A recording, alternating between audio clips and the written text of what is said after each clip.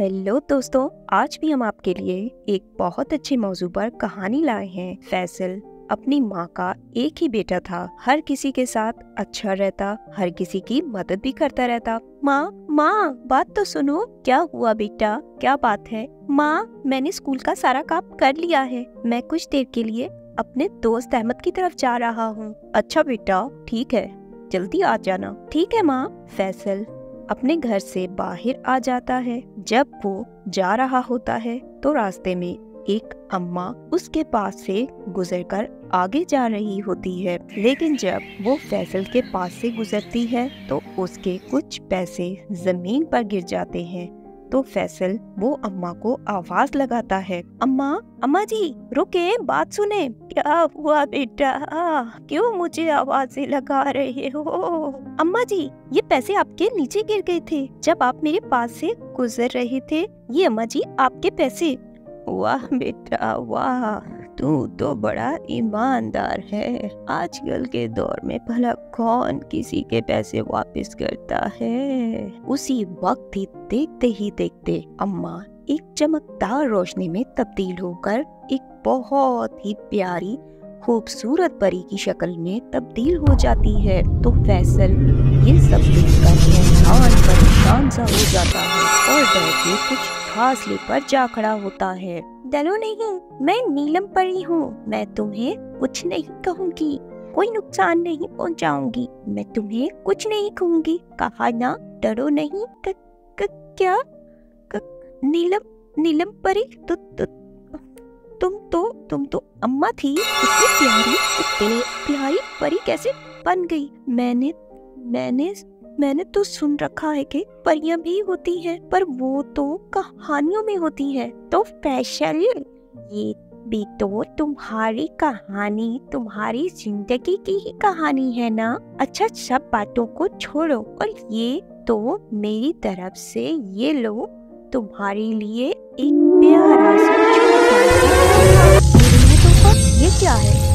ये तुम्हारे लिए तुम्हारी ईमानदारी का इनाम है। पर पर ये तो छड़ी है, एक स्टिक है। इसका मैं क्या करूँगा? ये खाली छड़ी नहीं, बल्कि जादू की छड़ी है। जादू की छड़ी? हाँ जादू की छड़ी। इस छड़ी से जो भी तुम मांगोगे, वो सब तुम्हारे लिए फ़ौरन सामने आ जाएगा। लेकिन इस छड़ी का तुम गलत इस्तेमाल ना करना, वरना इस छड़ी के गलत इस्तेमाल से तुम्हारा नुकसान भी हो सकता है और एक वक्त में सिर्फ़ एक चीज़ मांग सकते हो। अच्छा तो ये बात है, प्यारी परी, फिर तो मैं इसका इस्तेमाल सिर्फ़ और सिर्फ़ मुनासिब और ज़रूरत के वक्त ही करूँगा। शुक्रिया।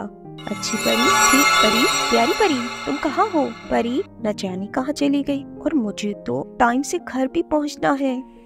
मैं तो अहमद के घर जा रहा था। चलते चलते चलते चलते वो अहमद के घर पहुँच जाता है और अहमद के घर पहुँचते ही वो अहमद को रास्ते में होने वाली सारी कहानी के बारे में बताता है। अच्छा यार वाकई मुझे तो यकीन ही नहीं आ रहा। ऐसा भी हो सकता है? परी से तुम्हारी मुलाकात? अहमद खाने का बहुत शौकीन था।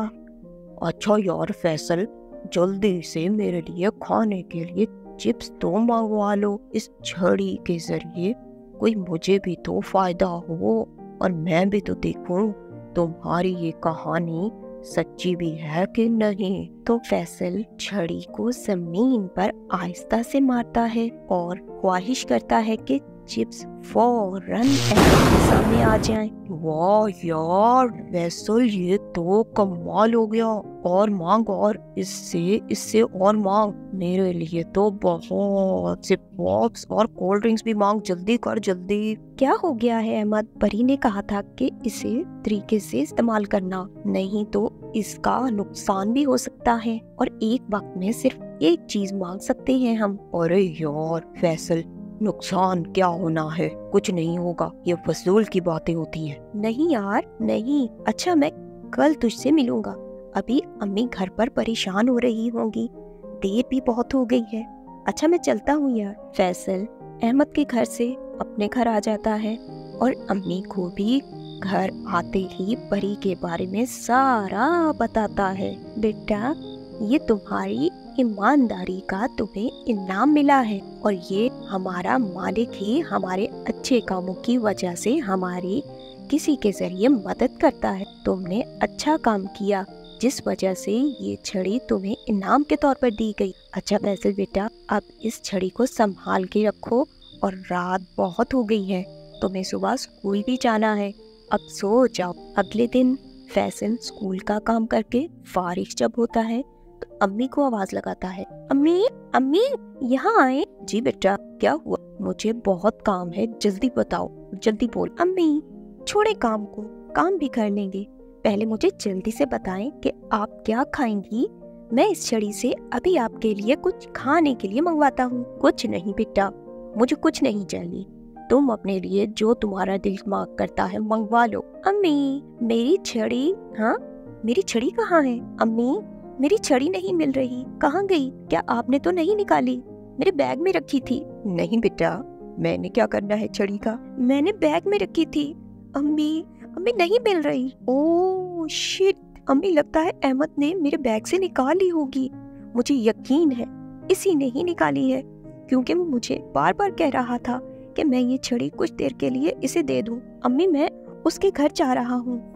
इससे पहले कि कुछ और बुरा हो जाए। बेटा ध्यान से जाना तो फैसल जल्दी जल्दी अहमद के घर पहुँचता है। अहमद, रुक जाओ। तुमने मुझसे पूछे बगैर मेरे बैग से ये छड़ी क्यों निकाली? तुमने ये अच्छा नहीं किया और तुमने ये क्या?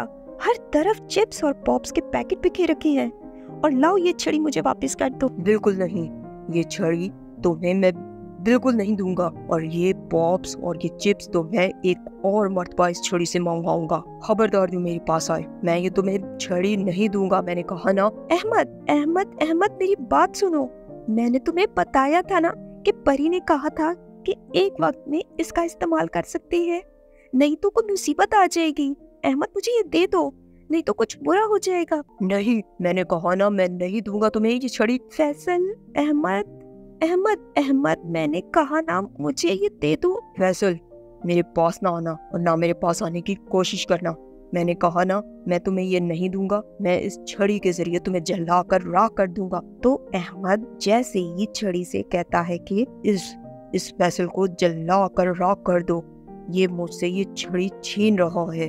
तो देखते ही देखते उस छड़ी से आग निकलती है और अहमद अपनी लगाई हुई आग की लपेट में आ जाता है और एक जोरदार धमाका होता है और परी भी वहाँ आ जाती है और वो चिड़ी वहाँ से फ़ौरन उसके हाथ से गायब हो जाती है। फैसल, तुमने इस छड़ी के ज़रिए तरह इस्तेमाल नहीं किया। इस छड़ी का गलत इस्तेमाल किया और तुमने इसकी हिफाजत भी नहीं की, जो कि तुम्हारी हिफाजत ना करने की वजह से गलत हाथों में चली गई। मैंने तुम्हें क्या कहा था कि इस छड़ी का सिर्फ़ एक वक्त में इस्तेमाल करना है। प्यारी परी प्यारी परी, मुझसे गलती हो गई। पहले मेरे दोस्त को बचा लो, वो मर जाएगा।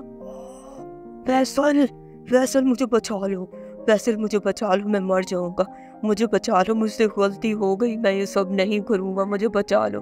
मैं हाथ जोड़ता हूँ तुम्हारे आगे।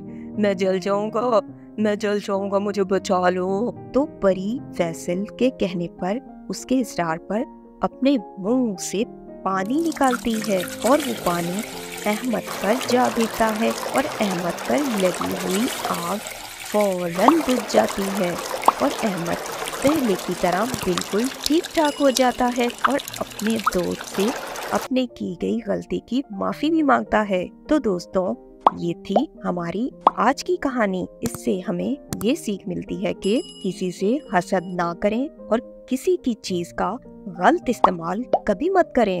नहीं तो अहमद जैसा हाल हमारा भी हो सकता है।